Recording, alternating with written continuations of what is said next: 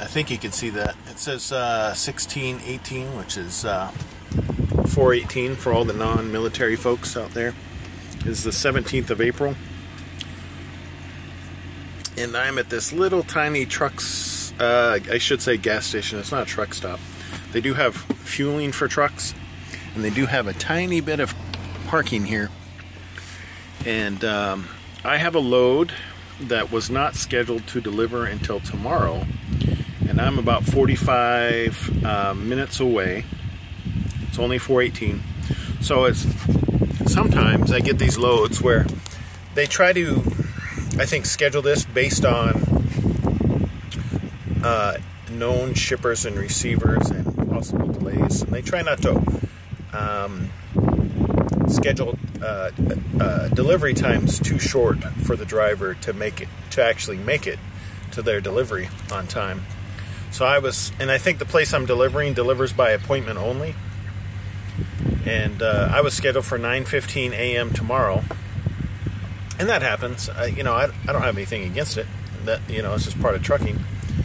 Because uh, I, you know, I, I do fine otherwise. It's just every once in a while you get these loads. So uh, I took the opportunity since it's so early in the day. Uh, at around 2:30, because I've been parked here for an hour uh, around uh, 2.30 I did a stop, checked my load, and I'll show that here in a second. And uh, I decided, well, let me send in a message because sometimes I can see if they are able to uh, move up the appointment, either earlier tomorrow morning or maybe even today. It doesn't hurt to ask. You know, they'll check and, and they'll either say, oh, yeah, you can get in if you show up at such and such a time uh, they can get you unloaded, or they'll say, no, I'm sorry, they don't have any other appointment times. That's all we can do. That's the best we can do. And I'm happy with that. I've got movies to watch. I don't care. I'm just checking because this by doing nothing, I run the chance of earning less money. So because I did that, uh, my fleet manager checked with the people that he needed to, who made some phone calls and said, "Hey, you know what? They can get you in tonight."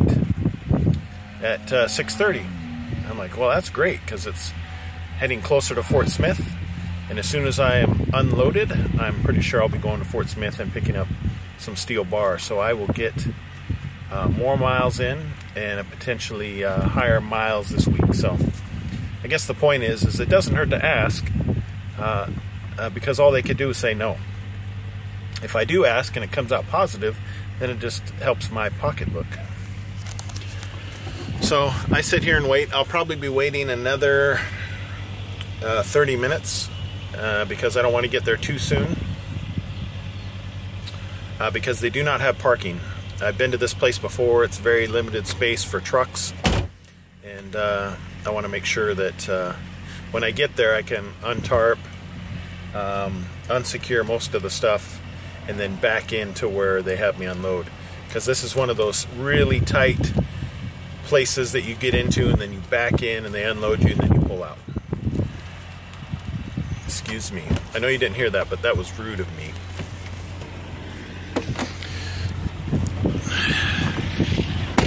So I've, I've kind of got this oblong load of steel. And these are all steel coils. There's six of them.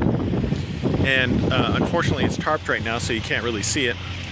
But, you know, I've got six coils, seven chains, because this uh, center coil is 10,000 pounds, so it needs uh, more than just one 8,000 pound worth of securement. So I had to throw two chains on there. Then I've got a strap on the front, a strap on the back. Um, is a like a trip chain or a trip strap. And um, but uh, some may say, well, why did you do it this way? Well, let me here, let me back up, and I'll do it while not looking behind me, so this may be considered unsafe. So if I fall and hurt myself, I'll probably get in trouble. um, you can see the uh, back of the tarp kind of um, not covering the whole load, but that's okay. And I'll show you is because underneath that one tarp is a second tarp. So it is covered uh, to make sure but um, I just give you all angles here. There's nothing else to talk about. So I put, I, whenever I have to use two tarps, I, you know, you always tarp from the back forward and then from the forward back in this way any uncovered spots are covered up based on the way the wind works. Anyway, I'm not going to get into the details.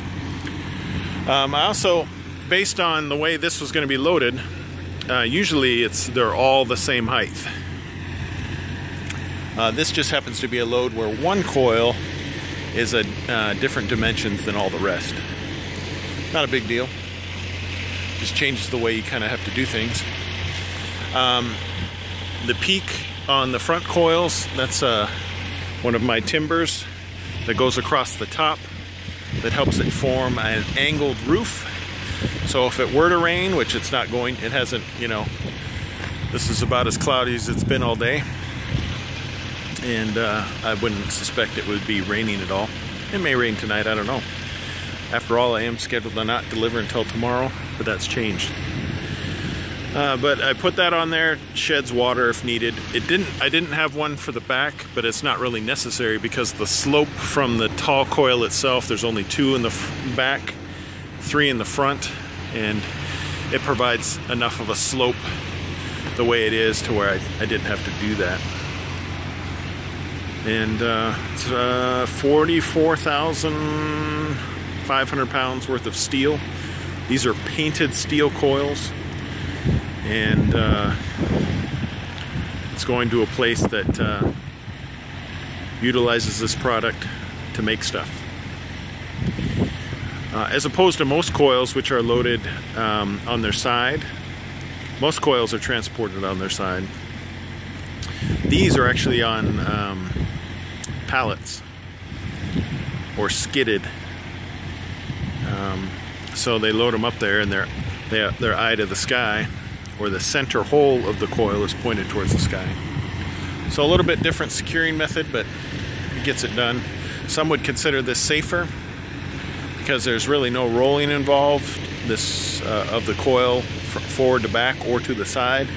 It would really be more of a condition where these either slide or tip over if there was some kind of issue. But that's uh, my load for today. What's today? Tuesday? Um, things have gone by really quick today because I dropped off this morning at Granite City, picked up this load, and then headed out. And I started my week on on when did I start my week? Sunday. By the end of Monday, it had almost a, I already had a thousand miles in. So when you can uh, start off your week and have, you know, basically $500 in your pocket, two days of work. I like that.